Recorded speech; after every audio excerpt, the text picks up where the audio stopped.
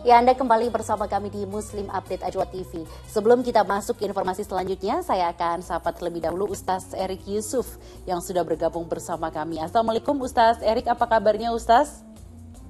Waalaikumsalam warahmatullahi wabarakatuh. Alhamdulillah, baik. Alhamdulillah, baik langsung saja kita mulai ke informasi selanjutnya. Polisi menangkap pria yang diduga melakukan penodaan agama dan ujaran kebencian yang viral di media sosial. Motif pria itu diduga berlatar belakang asmara. Inilah detik-detik video saat digelandang aparat Satreskrim Polres Metro Jakarta Selatan dari kediamannya di wilayah Jakarta Barat pada Senin malam. M ditangkap polisi setelah mengunggah video pembakaran kitab suci Al-Quran dan kalimat-kalimat hinaan. Hingga saat ini M masih menjalani pemeriksaan intensif di Polres Metro Jakarta Selatan. Namun dari hasil pemeriksaan sementara, motif perbuatan tersangka karena asmara dan sakit hati.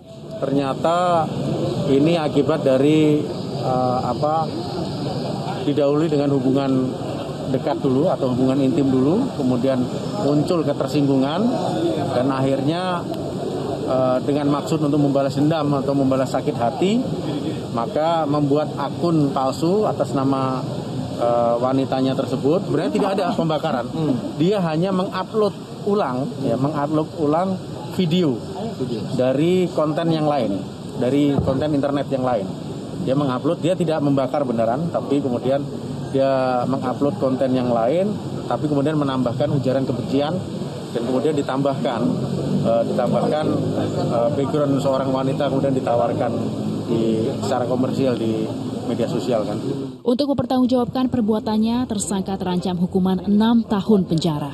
Sebelumnya, video berisi pembakaran Al-Quran disertai kalimat-kalimat hinaan viral di media sosial setelah muncul di akun media sosial wanita berinisial F.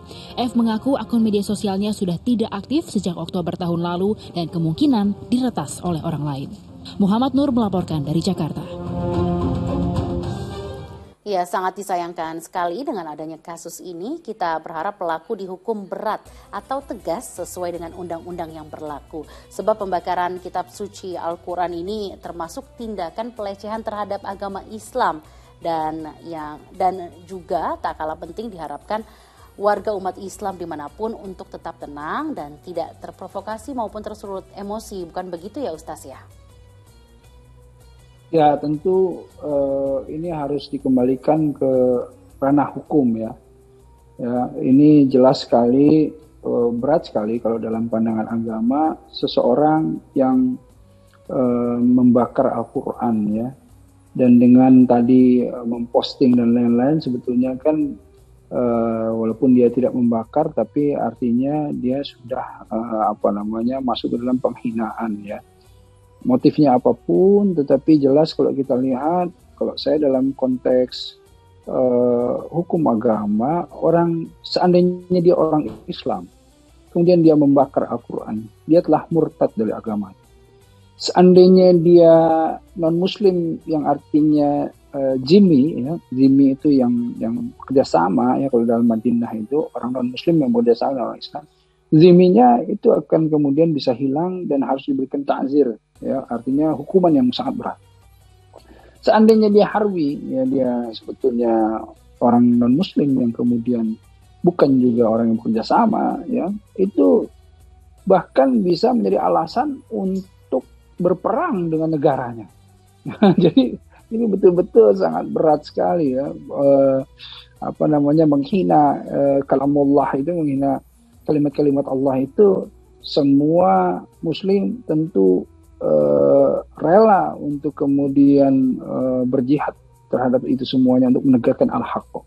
Nah, itu uh, hukumnya. Tapi kita di sini kita tentu patut uh, tabayun, kita klarifikasi kebenaran lainnya dan kita serahkan kepada pihak yang berwenang. Dan saya ingin pihak yang berwenang betul-betul menegakkan keadilan, menegakkan hukum sesuai dengan aturan yang ada gitu ya. Jangan sampai kemudian uh, ya apa namanya uh, melukai lah perasaan orang-orang yang uh, terluka gitu ya. Jadi intinya uh, tegakkan saja keadilan ya sesuai dengan uh, hukum yang ada dan insya Allah semoga menjadi efek jerak bagi orang-orang yang lain uh, jangan sampai ya apa pun alasannya tadi apalagi alasan asmara dan lain-lain ya aduh itu kan dimusyawarahkan saja atau mungkin uh, ya banyaklah solusi yang lainnya. Jangan sampai kemudian memancing uh, emosi amarah memprovokasi bahkan uh, umat Islam yang kita pahami di negara ini adalah umat Islam yang paling besar yang paling banyak di dunia nah, karenanya ayo kita saling tenggang rasa ayo kita saling menghormati ya jangan menodai apa-apa uh, yang telah dijaga dengan baik insya Allah Ya insya Allah semoga umat Islam bisa tetap tenang dan kita sebagai umat Islam menyerahkan ini sepenuhnya ke pihak berwajib agar si pelaku ini bisa mendapatkan ganjaran yang tepat gitu ya Ustaz. Nah lantas Ustaz gimana nih? Uh, pasti dong uh, sebagai umat Islam kita melihat berita ini agak tersulut emosi. Gimana nih cara kita menenangkan agar kita bisa tenang dan uh, mempercayai kalau aparat kepolisian pasti akan menyelesaikan masalah ini dengan benar gitu Ustaz. Gimana caranya kita agar bisa menenangkan diri gitu?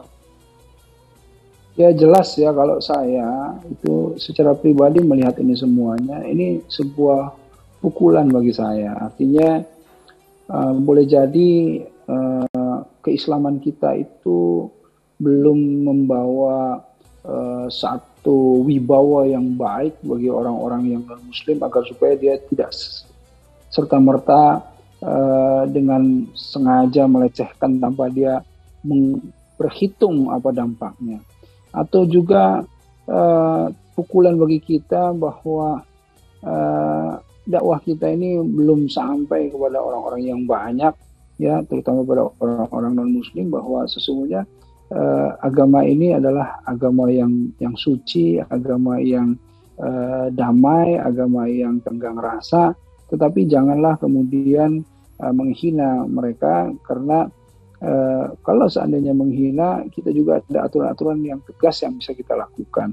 Nah jadi artinya Muslim di mana pun berada harus bermuhasabah melihat kembali kepada dirinya sendiri bahwa uh, sudahkah kita menjadi muslim-muslim uh, yang kemudian disegani ya muslim-muslim yang kemudian hormati dengan akhlak yang baik begitu ya bukan dengan kemudian memperlihatkan kemarahan agar supaya orang takut bukan? Tetapi orang itu harus segan kepada kita semuanya karena kita ini orang yang baik. Jadi jangan kalian melukai orang yang baik.